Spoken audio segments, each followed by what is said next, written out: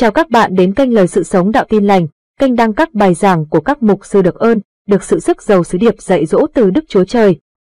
Lời Chúa vừa rồi mà anh cần chia sẻ nói về cơn đại hồng thủy mà thời kỳ Noe. Con thuyền Noe họ đã tìm thấy tại núi Ararat, Thổ Nhĩ Kỳ. Câu chuyện về Chúa Đức Chúa Trời Ngài dùng nước để hủy phá thế giới này. Nó được ghi lại trong rất nhiều chuyện cổ của các dân tộc khắp nơi. Việt Nam mình có câu chuyện Sơn Tinh Thủy Tinh cũng bộc lộ lại một cái ký ức buồn mà ngày xưa Chúa đã một lần hủy diệt thế giới này bởi tội của họ. Anh chị em hãy cùng tôi nhắc là Chúa hủy diệt. Dạ, nghe thấy rất là sợ đúng không? Có một người hỏi tôi rằng mục sư ơi, họ viết tin nhắn mục sư ơi, tại sao khi em đọc kinh thánh thấy cựu ước Chúa ác thế, còn thời kỳ tân ước Chúa lại hiền thế?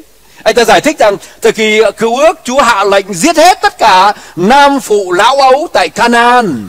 Còn tân ước thì Chúa lại chết thay tội cho thế nhân. Như vậy hai Đức Chúa Trời khác nhau à? Chúa cứu ước ác, còn Chúa tân ước thì lại hiền. Mục sư giải thích cho con hiểu. Tôi uh, trả lời họ như sau. Nếu một người phạm tội tội trọng giết người, sau 3 4 năm anh ta trốn, bị người ta bắt được đưa ra tòa theo đúng bộ luật giết người sẽ bị giết ông quan tòa tuyên bố rằng theo đúng tội trạng của ngươi người sẽ bị án tử hình. Ngày mai đau phủ ra chém đầu. Câu hỏi, quan tòa và người đau phủ có phải tên giết người không? Mọi người nghe không? Câu hỏi, quan tòa công bố xử trảm nhân vật này và tên đao phủ ngày hôm sau chém đầu. Câu hỏi quan tòa và đao phủ có phải tên giết người không? Không. Quan tòa công bố tử hình theo đúng bộ luật. Người đao phủ bịt mặt để chém đầu, họ ăn lương, nghề của nó là nghề chém đầu. Ai là người mà giết anh ta? Tội của anh ta đã giết chết anh ta. Gia đình của con người đó không tìm người mà dạ mà quan tòa đó để giết gia đình cũng không tìm cái tên đao phủ để giết, bởi vì họ biết được rằng con của họ đã giết người và trốn trong mấy năm vừa rồi. Tội của con mình đã giết chết con mình. Chúa, ngài đã công bố bản án tử hình đối với dân Canaan. Bởi vì dân đó là dân mà đưa con đầu tiên của họ đưa vào lửa, để mà nướng cho vị thần, xin thần đó ban phước cho những đứa con còn lại. Rạch bụng con của mình cho thần. Rồi hiến dân con gái của mình cho các vị thần đó. Tội ác nó cao lên tận trời. Thành Sodom, Gomorrah, tội ác cao lên tận tận trời. Và tất cả, kinh thánh chép rằng tiền công của tội lỗi là sự chết. Cho nên hết thảy những ai phạm tội, sớm muộn gì, cái kết quả của tội chúng ta làm, đó là sự chết, anh chị em. Cho nên chúng ta hãy cẩn thận. Chúa Giêsu xuống trần gian để mà lấy cái tội mà chúng ta đáng bị hình phạt vào Ngài. Chứ không phải là Đức Chúa Trời, Ngài thay đổi. Ngày xưa hết thảy những ai phạm tội đều phải chết. Nhưng ngày hôm nay Chúa Giêsu xuống trần gian, Ngài lấy tội của bạn vào Ngài. Ngài chết thay tội của bạn. Trên thân thể Ngài, tôi cũng đáng tội chết. Nhưng Chúa lấy cái tội đó vào Ngài. Ngài chịu hình phạt từ trời, thay cho mỗi chúng ta. Đức Chúa Trời, Ngài là đấng công bình và yêu thương. Công bình, xử tội. Nhưng yêu thương là tìm cách để cứu chúng ta qua sự chết của con ngài. Mọi người hiểu không? Mọi người hiểu không ạ? À? hãy quay sang lân cận nói rằng, chúa là chúa yêu thương. Đầu năm mới, tôi à, một lần nữa chúc mừng hết thảy anh chị em trong hội thánh một năm đầy thắng lợi. 2019 có một lời hứa của Chúa nói rằng, hãy qua bờ bên kia. Dù năm nay cái bờ này của bạn là một cái bờ thành công, thì bờ bên kia vẫn tốt hơn cho bạn. Thành công của bạn, thất bại của bạn ở bờ này nó chỉ là bài học của bạn ngày hôm nay thôi chứ nó không phải là người bạn đi đường với bạn. Tương lai của bạn đang đợi bạn tốt hơn. Thành ra hãy rời khỏi bờ bên này sang bờ bên kia. Hãy để lại ở bên kia những cái của bên kia. Còn chúng ta cần phải sang cái nơi mà Chúa kêu gọi chúng ta cho năm 2019 này. Amen. Amen anh chị em. Hãy nói với lân cận rằng cùng nhau sang bờ bên kia. Hallelujah. Cảm ơn Chúa, cảm ơn Chúa. Nào chúng ta cùng nhau à, nghe bài giảng hôm nay có chủ đề là chiên con được sắm sẵn. Hãy nhắc lại cùng tôi từ sắm sẵn. Dạ, rất là vui. Chúng ta có một đấng sắm sẵn cho chúng ta những điều tốt lành. Rất là vui. có một đấng sắm sẵn cho những điều cho chúng ta những điều tốt lành nhiều khi chúng ta không biết được những cái mà tốt lành dành cho chúng ta giống như những đứa con đấy nó đòi bố mẹ phải cho cái này cho cái kia nhưng mà bố mẹ đã biết được rằng thời điểm nào điều này tốt cho con còn bây giờ có thể nó đến với con chưa đúng thời điểm. Chúng ta có một đấng mưu luận hơn chúng ta nhiều, khôn ngoan hơn chúng ta nhiều. Bạn biết cho con mình những vật tốt ra làm sao, thì có một đấng ở trời biết những điều mà dành cho chúng ta tốt nhất vào thời điểm nào, anh chị em. Cho nên nhiều khi chúng ta cầu xin Chúa chưa nhận được câu trả lời, Không có nghĩa là Ngài không nghe bạn cầu xin, Không có nghĩa là Ngài không muốn trả lời bạn, Nhưng Ngài biết rằng cái điều đó đến với chúng ta lúc nào là hợp nhất, anh chị em. Chúng ta cùng nhau xem đoạn Kinh Thánh Sách Luca đoạn 22 Sách Luca đoạn 22 câu số 7 Kinh Thánh được mở lên trên màn hình nếu có. À, Trước khi vào buổi nhóm Cái người chịu trách nhiệm về chiếu bập bài hát Và câu Kinh Thánh có, như có đến nói với tôi Mục sư ơi à, Hôm nay beamer đã bị hỏng Không chiếu được. Thành ra Mục sư cần phải dở Kinh Thánh. À, Bây giờ đó nó làm việc. Lúc ban đầu nó không làm việc. Thành ra khi chúng ta bị một cái gì trục trặc đó Nó thường làm cho bị xô một số những công việc lại. Nào chúng ta cùng nhau nhìn vào câu Kinh Thánh. Luca đoạn 22 câu 7 Đến ngày lễ ăn bánh không men là ngày người ta phải giết con sinh làm lễ vượt qua. Hãy cùng tôi nhắc từ lễ vượt qua. Lễ vượt qua là cái lễ như thế nào? Dân Do Thái, thời kỳ ông Môi-se 400 năm nằm lô lẻ trong Ai Cập.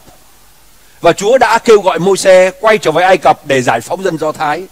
Và vì họ sống trong Ai Cập lô lẻ 400 năm, Chúa phán với Môi-se rằng hãy nói với người Do Thái là những người được lựa chọn dân cắt bì của ta Mỗi một gia đình tùy theo lượng người giết một con chiên một tuổi, không tỳ không vết, có nghĩa là không bệnh tật. Giết con chiên đó, lấy cái cành lá, rau đắng, nhúng vào cái chậu huyết đó, bôi lên bậu cửa. Bôi huyết lên bậu cửa. Buổi tối ngày hôm nay, thần chết sẽ đi ngang qua xứ đó. Hết thảy cái nhà nào mà có bôi huyết trên bậu cửa thì thần chết sẽ đi ngang qua. Còn những nhà nào không có huyết bôi trên bậu cửa thì đứa con đầu lòng sẽ bị giết chết. Chúng ta biết dân ai cập, họ thờ một vị thần, mà thần đó là thần bảo vệ con đầu lòng. Họ sinh tế, họ làm rất nhiều những chuyện bậy bạ để mà thờ cái thần đó. Họ nhảy dỡn và thậm chí họ có thể sinh hoạt tình dục tập thể trước cái vị thần đó. Tội ác rất là kinh hoàng và tất cả những người do thái, mọi người được công bố rằng hãy bôi huyết lên bậu cửa. Và ngày hôm đó họ bôi lên, tất cả những nhà nào không có huyết bôi lên trên bậu cửa, thì con trai đầu lòng chết, tiếng khóc âm hết cả. Pharaoh quyết định thả dân do thái, cho họ trở về đất của họ. Trước đó ông không muốn thả. Ông muốn giết người do thái. Tất cả những đứa con đầu lòng trong đó, có cả môi xe nữa, đều bị quẳng xuống dưới dưới sông nin cho cá sấu ăn. Môi xe đã thoát chết. Thành ra tội ác, gieo gì họ phải gặt đó. Và khi huyết bôi qua bậu cửa như vậy thì những người do thái được an toàn và ngày sáng hôm sau, Pharaoh nói, thả tất cả dân Do Thái trở về quê hương của họ. Ba triệu người đã rời khỏi Ai Cập, đi tới vùng Canaan. Cái đó gọi là ngày lễ vượt qua. Mọi người hiểu không ạ? Ngày lễ vượt qua khỏi Ai Cập để tới nơi Chúa kêu gọi. Cho nên cái từ vượt qua ở đây được lấy từ cái đêm mà Chúa đã giải phóng dân Do Thái ra khỏi Ai Cập. Và mỗi một năm họ, người Do Thái tổ chức một tuần trước đó, trước ngày lễ vượt qua, họ có một cái ờ, một vài ngày lễ ăn bánh không men. Có nghĩa là bánh mì mà không hề có men ở bên trong. Men đó tượng trưng cho tội lỗi. Thế ra họ ăn bánh mì bio, bánh mì thật mà không hề có men. Và câu kinh thánh chép rằng, đến ngày lễ ăn bánh không men là ngày người ta phải giết con sinh làm lễ vượt qua. Và thường trong kỳ này, mỗi một người do thái họ phải chuẩn bị hai vật một là bánh không men, gọi là bánh mì. Hai là chiên con, cần phải bị giết. Nhớ nhá, cần chuẩn bị hai vật một là bánh mì không men, hai là chiên con để giết cho lễ vượt qua. Đức Chúa Giêsu sai Phêrô và răng đi mà phán rằng, hãy đi dọn lễ vượt qua. Cho chúng ta ăn. Hai người thưa rằng, thầy muốn chúng tôi dọn lễ ấy tại đâu? Ngài đáp rằng, khi các ngươi vào thành sẽ gặp một người mang vò nước, hãy đi theo người vào nhà. Một người mang theo vò nước, đây là người nam. Và thời bấy giờ, người nam họ không bao giờ mang vòi nước vò nước đi lấy nước. Công việc này là của người nữ. Chúa nói rằng, hãy đi vào thành gặp một người đàn ông, mang một vò nước. Nó giống như một cái dấu vậy. Dường như đức chúa trời là đấng đã sắm sẵn những điều cho ngày lễ vượt qua rồi. Các ngươi gặp một người các ngươi vào thành, gặp một người đàn ông mang vỏ nước. Hãy theo người vào nhà và nói cùng chủ nhà rằng, thầy phán cùng ngươi rằng, phòng khách là chỗ ta sẽ ăn lễ vượt qua với môn đồ ta ở đâu. Chủ nhà sẽ chỉ cho một cái phòng rộng và cao, đồ đạc sẵn sàng. Các ngươi hãy dọn ở đó, hai môn đồ đi, quả gặp những điều như ngài đã phán, bèn dọn lễ vượt qua quả gặp những điều ngài đã phán. Khi thánh chép rằng chủ nhà sẽ chỉ cho các ngươi một cái phòng rộng và cao, đồ đạc đã sẵn sàng. Đây là một sự không phải là tình cờ. Đức chúa trời đã chuẩn bị cái ngày lễ vượt qua cuối cùng cho ngài tại nơi đó. Chúa giêsu nói rằng các ngươi đi vào trong thành. Thành phố lúc bây giờ rất là đông người. Lễ vượt qua hôm trước tôi đã giảng, khoảng 3 triệu người họ tới cái kỳ lễ đó. Và biết bao nhiêu người vác vỏ, biết bao nhiêu người đi lại chứ. Nhưng mà chúa nói rằng, hai ngựa, hai con hay vào thành phố, nhìn thấy một người đàn ông vác một cái vỏ nước. Đó là sự trùng hợp nhưng mà lại không hề trùng hợp. Chúa đứng sắm sẵn, đi theo người đó về tới nhà của ông ta và nói rằng, chủ nhà đã chuẩn bị cho thầy tôi làm lễ vượt qua ở đâu? Người chủ đó sẽ chỉ lên một cái phòng cao. Chúa nói rất là kỹ càng. Phòng cao đó, đồ đạc đã được dọn dạc và tất cả mọi thứ đã sẵn sàng tại nơi đó rồi. Chúa là đấng sắm sẵn cho chúng ta. Đừng nghĩ rằng là tình cờ. Amen tôi đã kể trong kỳ trại rồi. Tôi cùng vợ với mấy người trong xe ban tôn vinh, đồ chất nick ở trên xe để đến kỳ trại cuối năm vừa rồi. Còn đến đây lại chở thêm một số dụng cụ âm thanh. Vợ tôi ngồi ở ghế đầu tiên, cái đàn guitar đó chèn trên mặt của cô như vậy. Và tôi vừa đi vừa nghĩ rằng đi thế này rất là nguy hiểm. Làm sao bây giờ? Xe chật chỗ quá rồi. Chật ních rồi, không nhìn ra đằng sau xe nữa. Đang đi như vậy. Vừa ra khỏi cái bãi đậu xe ra ngoài kia. Đến cái chỗ đường rẽ ra, nhìn thấy một cái xe trắng đang nháy đèn để xin ờ, rẽ. Tôi bảo ok đường mình ưu tiên nhưng tôi nghĩ rằng thôi nhường cho xe này đi trước. Nếu mà tôi vọt đi trước thì đã không có chuyện uh, tuyệt vời sau đó xảy ra. Tôi uh, đơn giản rất là khiêm nhường đứng lại đợi cho xe trắng đi ngang qua. Họ mới rẽ sang đi. Xe trắng vượt trước cách tôi có 4 mét 5 mét tôi nhìn thấy là cái biển số xe thấy chữ L. Tôi bảo Leipzig. Lại tiếp theo cái đằng sau cái cái từ đó cái chữ BH ô bình uy. mà tại sao lại rẽ vào đường này? Tôi mới nói với vợ tôi rằng em hãy gọi điện thoại cho chị Bình ngay có phải là xe của chị trước mặt không? Vợ tôi gọi điện thoại chị Bình nói tôi đây cái xe mục sư đằng sau xe à? Tôi bảo vâng, đúng rồi dừng lại khẩn trương. Xe dừng lại chúng tôi chuyển đồ sang bên kia tôi chạy sang xe của uh, bà Bình rồi. Cuối cùng xe được được thoải mái ờ, đi đón thêm Dũng nữa là có thừa chỗ. Và lên xe ngồi anh Huy chở tôi đi. Còn xe sau là vợ tôi lái xe chở mấy đứa kia. Tôi ngồi xe bắt đầu họ mới kể đấy thấy chưa? Ờ, à, mà bình mà nó thấy chưa? Ông cứ làm bầm với tôi. Ông bảo là bấm địa chỉ kiểu gì mà đi lạc lung tung gần 30 phút cứ lòng vòng xung quanh đây rồi cứ lòng vòng xung quanh đây. Bà bấm kiểu gì mà bấm như vậy? Tôi mới nghe xong tôi nói rằng, ông bà ơi, không hề có chuyện tình cờ. Chúng ta cứ tưởng có nhiều cái lỗi xảy ra là tình cờ. Nhưng nếu như bà mà đi trước tôi một phút rồi đó, thì chúng ta đã không gặp nhau. Bà đi sau tôi một phút lạc nữa cũng không gặp nhau. Tại sao? Nó lại à? Đến đúng cái chỗ để rẽ lại gặp tôi. Tại sao lại chạy trước tôi có bốn năm mét tôi còn nhìn kịp cái bảng số đằng sau? Đâu phải tình cờ. Mọi người hiểu không? Năm 97 tôi cầu xin Chúa cho một người vợ 10 điểm. Vợ tôi cầu xin Chúa cho một người chồng 13 điểm. Hai năm sau, năm 99 chúng tôi gặp nhau tại đại hội, tại Đức. Tình cờ à? Sau này trở thành vợ chồng, đâu có tình cờ. Bạn ngồi tại đây. Bạn nói rằng tình cờ mà nhận được cái tờ giấy mời để tới hội thánh à? Bạn tình cờ được ai đó nói về Chúa Giêsu à? Đâu có tình cờ. Bạn nói rằng bạn ngồi tại đây, ba năm trước bạn suýt chết, mà bây giờ bạn ngồi tại đây. Bạn nói rằng tình cờ à? Ai cứu bạn khỏi chết à? Không phải tình cờ đâu. Có một đấng sắm sẵn cho bạn ngày hôm nay. Mọi người hiểu không ạ? À? có một đấng sắm sẵn cho anh chị em. Thế ra chúng ta ngồi tại đây. Chúng ta cần phải biết rằng cảm tạ Chúa vì một đấng sắm sẵn.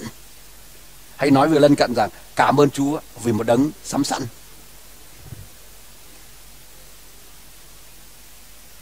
Chúa Giêsu đang ngồi ở trong cái lễ vượt qua đó Họ ăn như vậy Và các môn đồ vừa ăn vừa nhìn Chúa và hỏi, Chiên con ở đâu nhỉ? Bánh không men đã có rồi, nhưng chiên con ở đâu nhỉ? Sách răng răng Baptist nói một câu như sau. Chúng ta cùng nhau nhìn lên màn hình. Khi răng Baptist làm bắp tay bằng nước cho mọi người, Chúa Giêsu đi ngang qua, ông nhìn thấy Chúa Giêsu và ông công bố: "Kìa, chiên con của Đức Chúa Trời là đấng cất tội lỗi thế gian đi. Chính Chúa Giêsu là chiên con của Đức Chúa Trời đang ngồi ở trong cái lễ vượt qua cùng các môn đồ đó. Giang Baptist công bố rằng bắt đầu từ ngày hôm nay trở đi người Do Thái không cần giết chiên con nữa. Không cần giết chiên để tế tội lỗi nữa. Mà đây, Giêsu chính là chiên con chuộc tội cho tất cả mọi người. Lời công bố này sau 3 năm Chúa ở trong cái tiệc thánh đó Ngài ngồi trước mặt các môn đồ Họ đang đối diện với chiên con của Đức Chúa Trời được sắm sẵn Để chết thay tội cho mỗi chúng ta Câu chuyện tiếp theo mà tôi muốn nhắc nhở anh chị em vừa rồi chúng ta dự lễ Giáng sinh. Hãy bật cho tôi câu kinh thánh. Đây là một sự không hề tình cờ. Mary và Joseph là người mà có hộ khẩu tại Bethlehem, cho nên họ phải lên Bethlehem để khai tên mình. Trong lúc tại Bethlehem đó, nhà không có chỗ, không tìm được chỗ ở, họ đã tìm một cái chỗ chuồng lừa. Và tới nó, kinh thánh chép rằng, đang khi hai người ở nơi đó thì ngày sinh đẻ của Mary đã đến. Người sinh con trai đầu lòng không phải là con trai độc nhất nhá.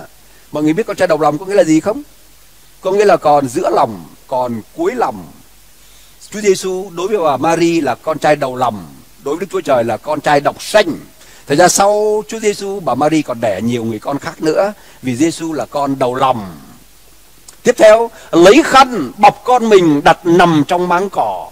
Vì nhà quán không đủ chỗ ở và cũng trong miền đó có mấy kẻ chăn chiên chú ngoài đồng thức đêm canh giữ bầy chiên. Một thiên sứ của Chúa đến gần họ và sự vinh hiển của Chúa trói lòa xung quanh, họ rất là sợ hãi. Ở bên Đông phương có một cái phong tục, họ cũng giống Việt Nam lắm. Họ thấy một người chuẩn bị đến ngày sinh nở, bắt đầu đội kèm trống của làng, xuất hiện ngồi bên cạnh chồng trực. Và khi nghe tin rằng, đẻ con trai! Là bảo bắt đầu thổi kèm đánh trống ờ, khua sung sướng. Còn khi mà nói, con gái! Là tất cả hội đó làng lặng đứng dậy vác sách sách kèn trống đi về. Thế ra có những người do, do Thái họ cầu họ cầu nguyện cảm tạ Chúa như sau này. Cảm ơn Chúa vì Ngài tạo dựng ra con không phải là phường đĩ điếm trộm cắp, không phải là người thâu thuế và không phải là người ngoại cùng với không phải là một người nữ. Đó là những người nam họ cầu nguyện như vậy đó. Chúng ta tại đây không phải khinh người nữ. Amen. Dạ. thành ra phong tục người do thái họ có một cái đội trầu trực ban ca hát đợi khi có con trai sẽ nhảy múa thổi kèn. Ở đây bật độ câu thánh kinh. Ở đây, có mấy kẻ chăn chiên trú ngoài đồng thức đêm thức đêm canh giữ bảy chiên. Chiên ở đây không phải là chiên bình thường. Bethlehem cách Jerusalem khoảng 8 đến 10 km. Theo luật mà thời của môi xe mỗi một ngày người tế lễ phải giết hai con chiên một tuổi. Buổi sáng giết một con, buổi chiều giết một con để tế lễ cho đức chúa trời thế ra họ cần phải chuẩn bị những con chiên không tỳ không vết khoảng một tuổi và một con chiên rất là lớn một năm có nghĩa là khoảng 700 con cần phải bị giết họ cần phải chuẩn bị một cái khu đất để mà nuôi những con chiên đó cho thầy tế lễ dâng cho đức giê va và đất nuôi chiên đó chính là chỗ này Bethlehem là chỗ để nuôi chiên cho các thầy tế lễ dâng cho Đức Chúa Trời. Thật ra thiên sứ khi Chúa Giêsu Giáng sinh, chiên con của Đức Chúa Trời Giáng sinh nằm trong máng cỏ. Thiên sứ đến báo không phải cho những người chân chiên bình thường, mà báo cho những người chân chiên mà chiên nó dành cho thầy tế lễ để dâng cho Đức Chúa Trời. Báo cho họ rằng Đức Chúa Trời đã sắm sẵn một con chiên khác rồi. Hãy đến đó để mà nhìn chiên con của Đức Chúa Trời sẽ chuộc tội cho thế gian, đó là Giêsu. Và những người đó thì thấy chất tiếp khi thánh chấp tiếp này, Thiên sứ bèn phán rằng đừng sợ chi Vì đời ta báo cho các ngươi một tin lành Sẽ là một sự vui mừng lớn cho muôn dân. Ấy là hôm nay tại thành David sinh cho các ngươi một đấng cứu thế là Christ là Chúa. Này là dấu các ngươi nhìn nhận Ngài, Các ngươi sẽ gặp một con trẻ bọc bằng khăn Nằm trong máng cỏ. Đây là cái nơi mà chiên được sinh ra. Chiên và được lựa chọn để dâng cho Đức Chúa Trời. Và chính Chúa Giêsu đã được đặt nằm trong cái máng cỏ này là nơi mà Đức Chúa Trời đã lựa chọn chính Ngài là chiên của Đức Chúa Trời chết thay tội cho mỗi chúng ta. Amen. Thật ra hãy nhớ, Chúa Giêsu xuống trần gian không phải để tạo ra một cái một ngày lễ Giáng sinh trang hoàng, mà Ngài xuống trần gian để mà sau đó Ngài chết trên thập tự giá, chuộc tội cho mỗi chúng ta. Và vì lúc này không phải là ở làng của Ngài, cho nên không có đội kèn trống ngồi bên cạnh để hát ca ngợi, cho nên thiên sứ đã làm một việc thay vào đội kèn trống đó khi thánh chép rằng, bỗng chúc thấy chưa bỗng chúc có muôn vàn thiên binh với thiên sư đó ngợi khen đức Chúa Trời. Không có kèn trống ở dưới đất này, nhưng có đội kèn trống ở trên thiên đàng để ca ngợi chiên con của Đức Chúa Trời. Amen. Hay quay sang lên cận nói rằng Chúa Giêsu là chiên con của Đức Chúa Trời. Chiên được sắm sẵn để chết thay tội. Amen. Cảm ơn Chúa. Nào chúng ta quay trở lại. Sách Luca đoạn 22. Tôi chuẩn bị kết thúc bài giảng rồi. Chúa Giêsu là chiên con được sắm sẵn lúc các 22 câu 14 trở đi. Đến giờ, Ngài ngồi bàn ăn, các sứ đồ cùng ngồi với Ngài. Ngài phán rằng, ta rất muốn ăn lễ vượt qua này với các ngươi trước khi ta chịu đau đớn. Vì ta nói cùng các ngươi, ta sẽ không ăn lễ này nữa cho đến khi lễ ấy được chọn trong nước Đức Chúa Trời. Ngài bèn cầm chén tạ ơn rồi phán rằng, hãy lấy cái này phân phát cho nhau. Vì ta nói cùng các ngươi, từ nay ta sẽ không uống chai nho nữa cho tới khi nước Đức Chúa Trời đến rồi. Đoạn Ngài cầm lấy bánh tạ ơn, xong rồi bẻ ra phát cho môn đồ mà rằng, này là thân thể ta, vì các ngươi mà phó cho, hãy làm sự này để nhớ ta. Chúa đã công bố cho môn đồ của Ngài biết, bánh chính là thân thể của ta, là bánh không men, không dính tội. Còn chiên con đổ huyết ra, đó chính là ta sẽ chịu chết đổ huyết ra vì các ngươi. Ngài đang ngồi trước mặt các sứ đồ, công bố cho họ rằng đây là bữa tiệc thánh lễ vượt qua mà ta dự cùng các ngươi. Bánh là thân thể của ta. Chiên con mà dành cho Đức Chúa Trời chính là ta. Ta chết thay tội cho các ngươi. Huyết ta đổ ra để làm một giao ước lớn với các ngươi. Tiếp theo, câu 21. Câu 20. Khi ăn xong, Ngài cũng làm như vậy, lấy chén đưa cho môn đồ mà phán rằng, chén này là giao ước mới trong huyết ta, vì các ngươi mà đổ ra. Và lại, nầy bàn tay kẻ phản ta đang ở gần ta, nơi bàn này, con người đi theo như điều đã chỉ định, nhưng khốn cho người này phản Ngài. Câu 23 và câu 24 là câu cuối cùng để chúng ta cùng nhau đến dự tiệc thánh. Môn đồ bèn hỏi nhau trong bọn mình ai là người sẽ làm điều đó. Có nghĩa là ai là người sẽ phản ta. Họ chưa tìm ra câu trả lời thì lập tức họ bàn việc thứ hai. Câu 24. Môn đồ lại cãi lẫy nhau cho biết ai sẽ được tôn là lớn hết trong đám mình. Trong khi thầy của họ và chúa của họ chuẩn bị lên thập tự giá thì họ bàn với nhau ai sẽ làm lớn. Họ không biết được rằng đấng Messia xuống trần gian để phục vụ người khác, để chết thay tội cho người khác, chứ không phải đến để cho người ta hầu hạ chính Ngài. Trong lúc Ngài chuẩn bị lên thập tự giá đóng đinh, thì họ đang chia phần. Ai là người được quyền cao chức trọng? Anh chị em hiểu tôi đang nói không ạ? Tôi nhớ có một ngày, khi mà đứng trong hội thánh này, khi nhìn thấy những điều sẽ xảy ra trong ba năm tới, những điều sẽ xảy ra trong tương lai, tôi khóc như chưa bao giờ được khóc. Tôi biết rằng có những con người họ đang chia phần. Vinh hiển ai sẽ làm to ai sẽ là ông này ai là ông kia. Trong khi chúa chuẩn bị lên thập tự giá thì những con người này họ đang tranh quyền tranh vị trí làm quan tranh vị trí làm mục sư xưng mình là ông này xưng mình là ông kia. Trong lúc đó cần phải chết cơ cần phải hy sinh cơ. Cần phải đổ huyết vì người khác cơ. Thì họ lại lao vào chia chác. Đó là bài học mà đầu năm 2019 này chúng ta cùng nhau học. Đức Chúa Trời ngày sắm sẵn cho Ngài chỉ những con người nào sẵn sàng chịu khổ vì người khác, chịu hy sinh vì người khác giống như chiên con của Ngài vậy. Amen. Quý thính giả xem nhớ đăng ký kênh, nhấn rung chuông và chia sẻ video được lan rộng trên mạng cộng đồng. Xin Thánh Linh động chạm anh chị em được biến đổi mỗi ngày càng giống Chúa hơn. Hẹn anh chị em video tiếp theo. Chúa yêu hết thảy anh chị em.